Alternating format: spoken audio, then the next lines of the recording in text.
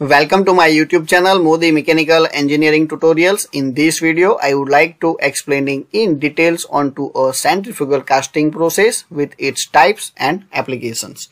So let us start with the basics setup for a centrifugal casting process.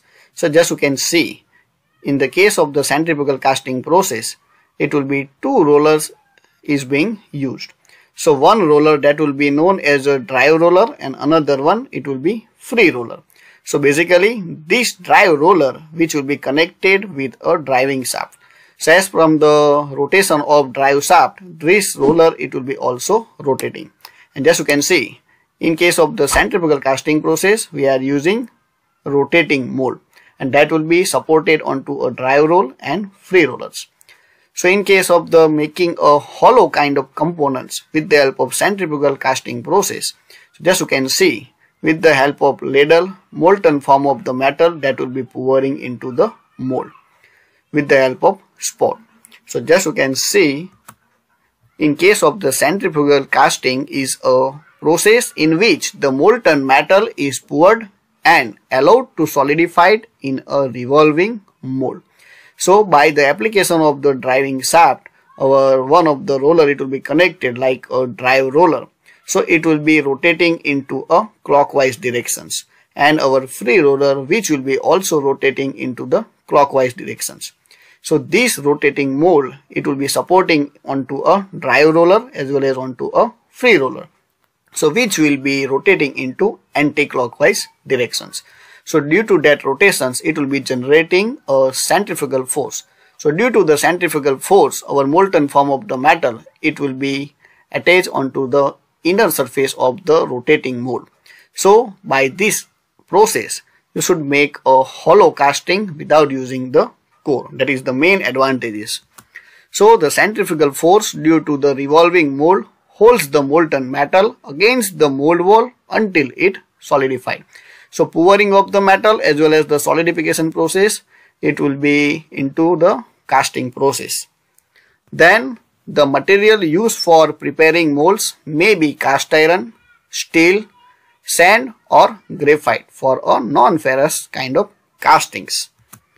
So the process is used for making a castings of hollow cylindrical shape. So that is the main application of a centrifugal casting process. So the various centrifugal casting techniques that will be including is a true centrifugal casting process. Second one, semi-centrifugal casting and third that will be centrifuge casting process. So now we will discussing with a first one and that will be true centrifugal casting process. So just you can see the basic setup. See here that will be a shaft which will be connected with a drive mechanism. So it will be rotating at high speed and onto that shaft our metallic mold is being attached. So According to the rotation of the shaft, this metallic mold, it will be also rotated. And another side, as you can see, this is our pouring basin. So with the help of ladle, molten form of the metal that will be into the pouring basin towards the mold. Or you can say rotating mold.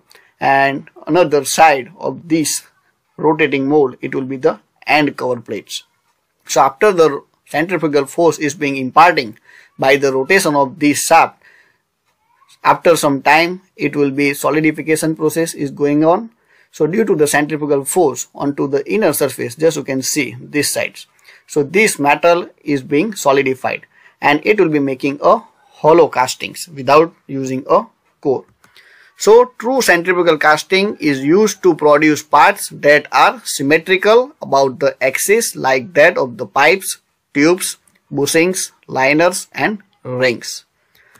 The Outside shape of the castings can be round, octagonal, hexagonal as per the my requirements.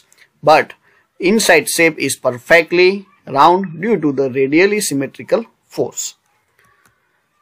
This eliminates the need for cores for producing a hollow castings. So that is the major advantages of true centrifugal casting process. Without using a core, you should make a hollow component like a pipes, tubes, bushings, etc. So the figure shows the true centrifugal casting process. So in that case of the true centrifugal castings, the steps is being involving. So first one, the mold of the desired shape is prepared with metal and the walls are coated with a refractory ceramic coatings. Then the mold is rotated about its axis at high speed in the range between 300 to 3000 revolution per minute or you can say RPM. So it will be rotating at high speed. So a measured quantity of the molten metal is poured into the rotating mold. So generally that quantity of the molten form of the metals that will be depends upon the shape, size as well as thickness of our hollow job or you can say hollow cylindrical job. The centrifugal force of the rotating molds throws the liquid metal towards the mold wall and holds the molten metal until it solidified. After solidification process, it will be removed and you will get your cast product. So the casting cools and solidified from its outer surface towards the axis of the rotations of the mold, thereby promoting a directional solidification process. So by this easily controlling the directional solidification process into the castings, so there will be removing or you can say reducing the casting defects. The thickness of the castings obtained can be controlled by the amount of liquid metal is being poured. So that will be depends upon the thickness. So you should calculate the how much amount of volume is being required or you can say quantity is being required for a molten form of the metal. Now an inherent quality of the true centrifugal casting is based on to the fact that the non-metallic impurities in castings being less dense than the metal are forced towards the inner surface of the castings due to the centrifugal force. So that will be the major advantages of the centrifugal force is being generating into this casting process. So these impurities can be machined later by the suitable machining process or you can say that generally we are using a boring operations for making a smooth inner surfaces. Then the mold may be rotated horizontally or vertically. Both are possible for the case of the true centrifugal casting process. When the mold is rotated about horizontal axis, a true cylindrical inside surface is produced. If rotated on a vertical axis, the parabolic inside surface is being produced. So as from the requirement of the inner surface, I would like to select a horizontal axis or you can say that vertical axis. So in case of the horizontal axis, it will be a cylindrical inside surface is being produced. But in case of the vertical axis, it will be production of a parabolic inside surface. Pores and gating rising systems are totally not required for this process and after that you will also make a hollow components. Then second part or you can say second types of centrifugal castings and that will be semi-centrifugal casting process. So just you can see the basic setups. So basically in case of the semi-centrifugal casting process it will be onto a vertical axis. So onto the vertical axis this is our shaft and that will be connected with a drive mechanisms. So it will be rotating against your vertical axis. So this shaft it will be connected with the revolving table and onto the table similar kind of arrangement we should use into the normal casting process. So for here, this is our cope and this is our drag and in between it will be the parting line. So around the parting line our castings is to be made and with the help of flask it will be combined. So with the help of holding fixers, this hold the assembly of the cope drag it will be onto the table and as you can see onto the top of the side it will be pouring base and gating systems. So from top of the side, it will be pouring of the molten form of the metal from outside. And if you want to make a hollow, so you should use a core materials. But basically in case of the semi-centrifugal casting process, we should make a solid cast materials. So in case of the semi-centrifugal casting process is used to produce solid castings and hence the requires a core to produce a hollow cavities. So that will be depends upon my requirements of the shape and size of the job. The process is used only for the symmetrical shape object and the axis of the rotations of the mold is always vertical. So that is the major disadvantages or you can say limitations of semi-centrifugal casting process. Gear blanks, sieves, wheels and pulley are the commonly produced parts by these methods. So the figure indicating the semi-centrifugal casting process and basically in that process that will be the wheel shape of the casting is being produced. So some of the steps it will be involving for this process. So this is our basic setups and the mold is prepared into the usual manner using cope and drag box. The mold cavity is prepared with its central axis being vertical and concentric with the axis of the rotations.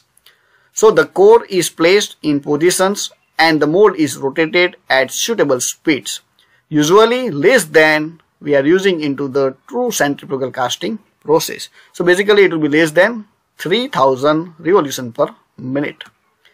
The centrifugal force produced due to the rotation of the mold causes the molten metal to fill the cavity and to produce the desired shape and size. Then the last one and that will be the centrifuge casting process. So just you can see this is the basic setup. So once again in case of the centrifuging casting process it will be always works onto its vertical axis. So just you can see this is our shaft and that will be connected with a drive mechanisms. So by the application of the rotation of this shaft it will be connected with a mold. So just you can see from both the end it will be our molds and with the help of ladle we should pour the molten form of the matter according to the quantities being required for a molten form of the metals. So by the rotations, so this mold it will be also rotated and due to the centrifugal force it will be fill the castings or you can say cavity with a molten form of the metals. So in the true and semi-centrifugal casting process, the axis of the mold or cavity coincide with the axis of the rotations. But in case of the centrifuging process, the axis of the mold cavity does not coincide with the axis of the rotation. So this is the basic fundamental difference between all three processes. The mold is designed with the part cavities located away from the axis of the rotation. So just you can see onto the both the ends it will be our mold and castings. Hence this process is suitable for a non-symmetrical castings. So if you want to manufacturing a non-symmetrical casting, so that will be more preferable as a centrifuging casting process. So that will be the process. So in that process involving some of the steps like uh, as you can see this is the figure and this is our shaft which will be connected with a drive mechanism so it will be rotating.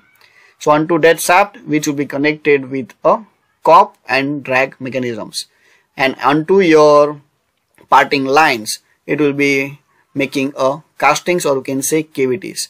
And if you want to make a hollow so you should place a core so at your top of the side it will be inserting the molten form of the metal and due to the centrifugal force this cavity or you can say casting which will be filled with the molten form of the metal. So this is our side view and just you can see also into the top view so this is our central sprue. So onto the top of the side, it will be pouring the molten form of the metals. So these all are the gating systems. So that will be depends upon the size and shape of our products. So you should make a number of product with the help of centrifuging casting process. So the several molds cavity are arranged into a circle and connected to a central down sprue through the gates. So the axis of the down sprue is common to the axis of the rotation of the mold.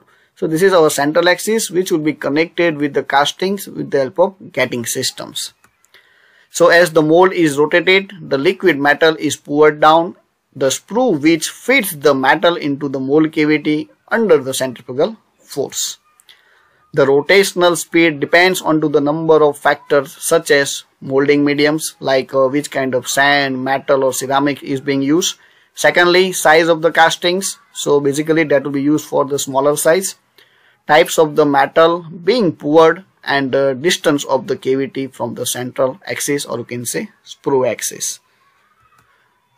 And centrifuging is done only about a vertical axis. So that will be the basic disadvantages of this process.